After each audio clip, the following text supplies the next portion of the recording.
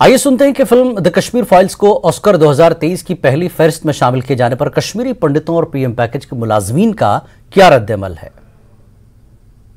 बहुत बड़ी बात है, कश्मीर फाइल्स के लिए, उनके प्रोड्यूसर्स और डायरेक्टर्स के लिए, एक्टर्स के लिए।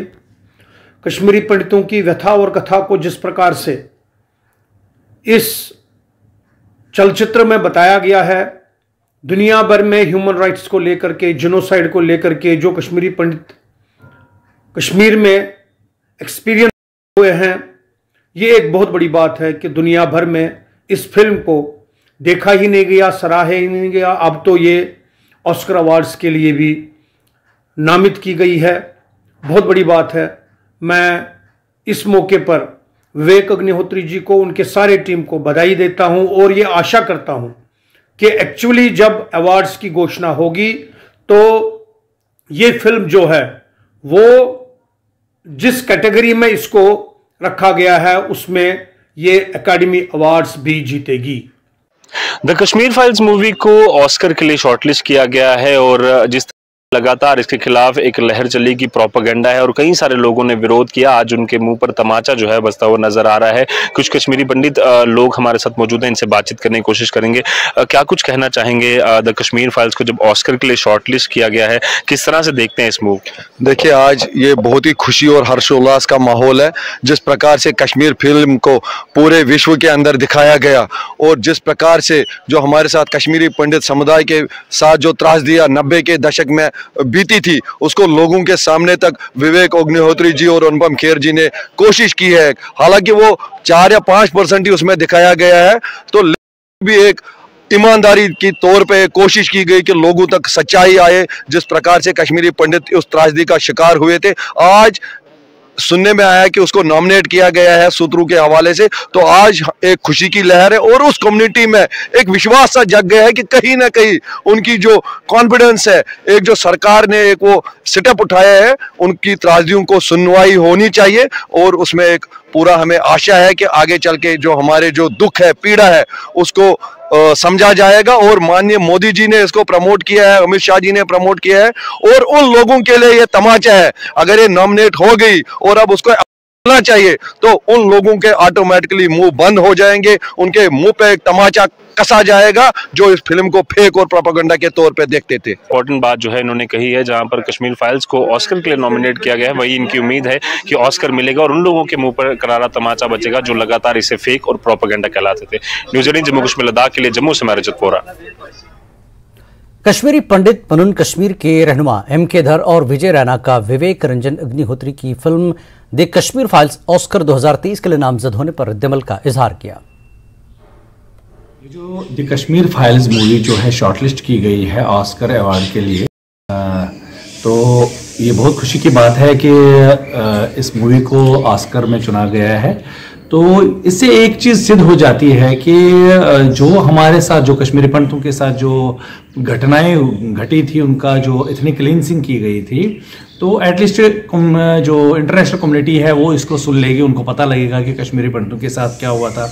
और जो एक नरेटिव एक सेक्शन जो था, चाहे पाकिस्तान है या बहुत सारे जो सेपरेटिस्ट लोग थे, जो इसको एक प्रोपगंडा मानते थे तो उनका जो ये नैरेटिव है बिल्कुल फेल हो गया है और इंटरनेशनल कम्युनिटी इसको समझ लेगी कि क्या कश्मीरी पंडितों के साथ हुआ था।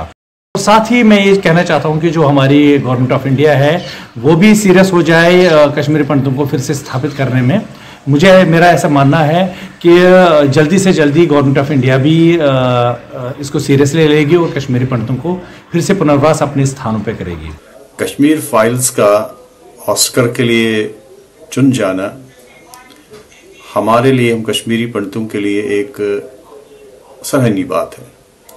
कश्मीर फाइल्स ने जो दिखाया है हालाँकि वो हमारी गाथाओं का हमारे उस, उस मिजरीज का एक परसेंट है। लेकिन तब भी हम शुक्रगुजार हैं उस पर कि इन्होंने जो दिखाया वो सच्चाई है।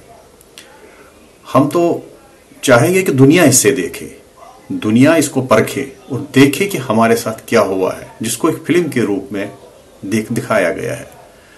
हम अग्निहोत्री जी के भी काफ़ी शुक्रगुजार है कि उन्होंने ऐसी एक फ़िल्म बनाई और देश के लोगों को भी ये भी शुक्रगुजार है जिन्होंने इसे सराहा।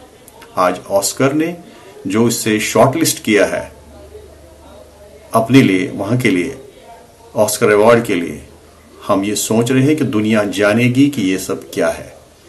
इनके साथ क्या हुआ है? कश्मीरी हिंदुओं के साथ क्या हुआ है? हम देश के भी, उन लोगों का भी शुक्रिया अदा करते हैं जिन्होंने आज इस फ़िल्म को देख के शॉर्ट लिस्ट किया। और सरकार से भी ये गुजारिश करते हैं कि इसकी ओर देखते हुए एक इंसाफ किया जाए। हमारे साथ आज तक भी इंसाफ नहीं हुआ है जिसके लिए हम आज भी इंतज़ार कर रहे हैं। Kashmir file a movie very vividly very very picturesquely, which to an enliven the pains, sufferings of Kashmiri Pandits. It captures a gruesome massacre in the Indian history, actually been nominated for Oscars. This is not only a welcome step, but it is as good as an overall international recognition for a worst pogrom in the Indian history, a worst case where how fundamentalism, how terror, how high-headedness has led into these worst massacres of Indian history. My point remains that this itself silences the critics who, for the sake of interests, for vested interest, have been trying to black just out of vogue out of sync and out of place वक्त एक break का break के बाद फिर लौटेंगे